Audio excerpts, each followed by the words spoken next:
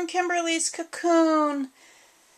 I know I've been making several videos about my birds, and I had to take a pause because the goal that I had set for myself was to finish painting Elijah and Nessa by today, which is Friday, the 17th, I believe.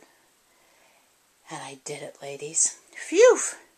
Now I'm hoping to start rooting this weekend, but first you have to see the lovely ladies.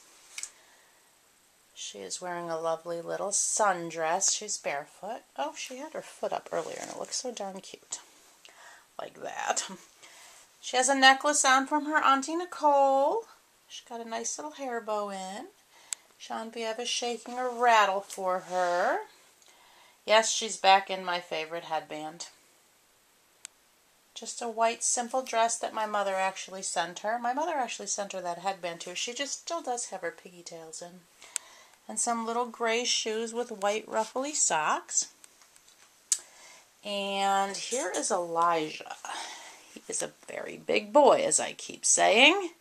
He no longer has his eyes in because in order for me to uh, glue down the eyelashes and root them, I have to take them out anyway, so I took them out after this last bake.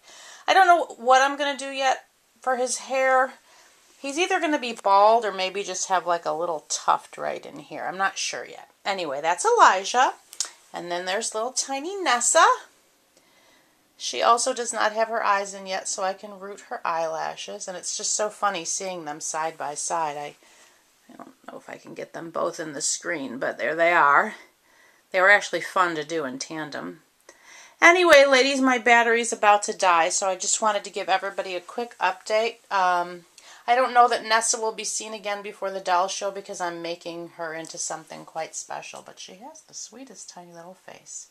Anyway, ladies, thank you so much for your support and for watching my videos. If you're new to my channel, please subscribe.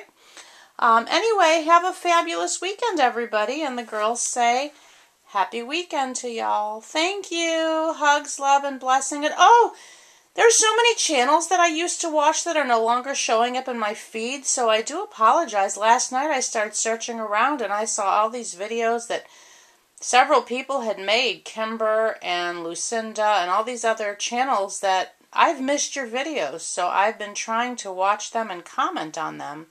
I don't know what happened to my feed.